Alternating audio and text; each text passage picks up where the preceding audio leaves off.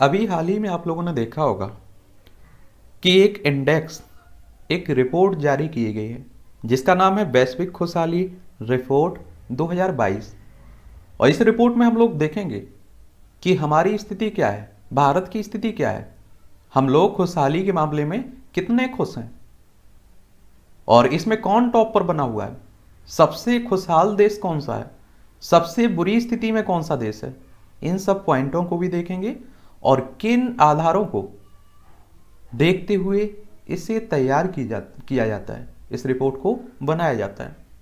और कौन सी संस्था इस रिपोर्ट को बनाती है?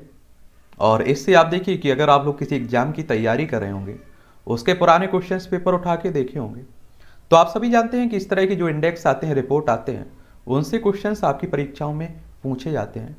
और वैसे भी आप लोगों को खुशहाली के मामले में कम से कम मालूम तो होना चाहिए एक सामान्य जानकारी के लिए कि कौन सा देश कहाँ टॉप पर है, हमारी स्थिति क्या है, समझ रहे हैं आप लोग?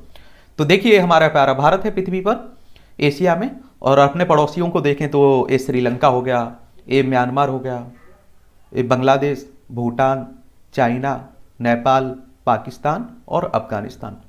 ठीक है?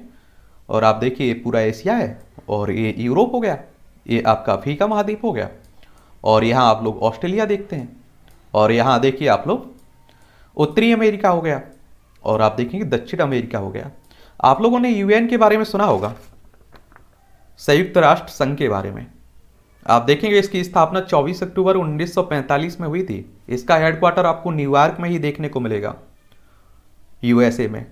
और इसका उद्देश्य यही कि अंतर्राष्ट्रीय कानून को सुविधाजनक बनाने के सहयोग, अंतर्राष्ट्रीय सुरक्षा, आर्थिक विकास, सामाजिक प्रगति, मानव अधिकार और विश्व शांति के लिए काम करे। इसमें अभी आप देखेंगे एक सौ तिरानवे देश देखने को मिलेंगे।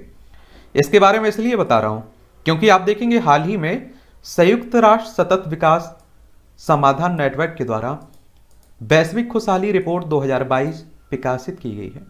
और अगर इसमें आप देखिए कि किसी संस्थान का, किसी ऑर्गेनाइजेशन का उल्लेख होता है तो उसके बारे में भी एक सामान्य जानकारी आपके पास होना चाहिए। और इस वर्ष खुशहाली रिपोर्ट की दसवीं वर्षगांठ है। एक कौन सी? दसवें नंबर की है। ठीक है? 2012 से विकासित विश्व खुशहाली रिपोर्ट दो प्रमुख विचारों पर आधारित है। यह खुशी या जीवन मूल्यांकन को सर्वेक्षणों के माध्यम से मापा जाना। और दूसरा है उन प्रमुख तत्वों की पहचान करना जो देश में कल्याण एवं जीवन मूल्यांकन का निर्धारण करते हैं। रिपोर्ट आमतौर पर प्रति व्यक्ति वास्तविक जीडीपी, सामाजिक समर्थन, स्वस्थ जीवन प्रत्याशा, निर्णय लेने की स्वतंत्रता, भ्रष्टाचार की धारणा जैसे कई कारकों के आधार पर 150 देशों को रैंकिंग प्रदान करता है। इस इंडेक्स को, इस रिपोर्ट रिपोर्ट को बनाते समय किन किन बातों का ध्यान रखा जाता है? प्रति व्यक्ति वास्तविक जीडीपी। आपकी आय क्या है एक तरह से? सामाजिक समर्थन। आप जिस समाज में रह रहे हैं, उसमें आप देखिए किस तरह से आपको समर्थन मिल रहा है। उसमें सभी एक समान रखते हैं या आप देखिए भेदभाव होता है? स्वस्थ जीवन प्रत्याशा, स्वास्थ्य की व्यवस्थाएँ आपको किस तरह से मिल रही हैं? निर्णय लेने में स्वतंत्रता, आपको जो मौलिक अधिकार आप लोग संविधान के भाग तीन में देखते हैं ना, वो मिल रहे हैं आप लोगों को कि केवल संविधान में दे दिए गए? इस बात को भी ध्यान में रखा जाता है कि आपको कितनी स्वतंत्रता मिली हुई है। आप लोग किस तरह से निर्णय ले सकते हैं? किसी के दबाव में निर्णय लेते हैं या एक तरह से आपके पास स्वतंत्रता है? और भ्रष्टाचार की धारणा को भी ध्यान में रखा जाता है। आपके देश में कितना भ्रष्टाचार है? आप सभी लोग जानते हैं, हमारे देश में कितना है। इस वर्ष इस रिपोर्ट में 146 देशों को स्थान दिया गया है और प्रति वर्ष प्रत्येक चर, ज़ीरो से दस के पैमाने पर आबादी भारत भारत औसत स्कोर को मापा जाता है। मापते हैं और जिसे समय की अवधि में और अन्य देशों की तुलना में ट्रक किया जाता है। क्या करते हैं? ट्रक करते हैं। देशों के प्रदर्शन की बात करें तो देखिए टॉप पर आप देखेंगे, फिनलैंड को लगातार पांचवी बार, विश्व का सबसे खुशहाल देश घोषित किया गया। किसे? फिनलैंड को। अब आप लोग कहेंगे कि एक बार फिनलैंड को दिखा दीजिए। किसे? फिनलैंड को भी दिखा दीजिए। तो देखिए, आपको फिनलैंड देखने को मिल जाएगा। दिख रहा है या नहीं दिख रहा है? देखिए, यूरोप में आप लोग फिनलैंड देखेंगे। ठीक है? ये सबसे खुशहाल देशों की श्रेणी में शामिल है। ऊपर, सबसे ऊपर। ठीक है? और इसके बाद आप देखेंगे, डेनमार्क का स्थान आता है। और खुशी में सबसे ज़्यादा वृद्धि सर्बिया, बुल्गारिया, रोमानिया में हुई है। तो आपको मुझे लगता है कि सबसे टॉप याद रखा करिए और सबसे नीचे कौन है, उसे याद रखा करिएगा। अफ़गानिस्तान को सबसे दुखी राष्ट्र के रूप में स्थान दिया गया, और उसके बाद आप देखें क्रमशः लेबनान, जिम्बाब्वे, रवांडा बोस्वाना का स्थान रहा है। एक बार आप लोग अफ़गानिस्तान को देख लीजिए, और आप सभी जानते हैं कि अफ़गानिस्तान में क्या हालत रहा है। आपने देखा है कि यहाँ तालिबान का शासन हुआ, उसके बाद आप देखिए मानव को एक तरह से यहाँ के लोगों को किस तरह से यातनाएँ झेलने पड़ी। ये अफ़गानिस्तान देख रहे होंगे? हमारी सीमा भी अफ़गानिस्तान से लगती है पीओ के वाले हिस्से की।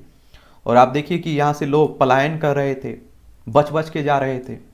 तो अफ़गानिस्तान की सबसे बुरी स्थिति है। फिनलैंड की आप देखिए सबसे टॉप पर बना हुआ है।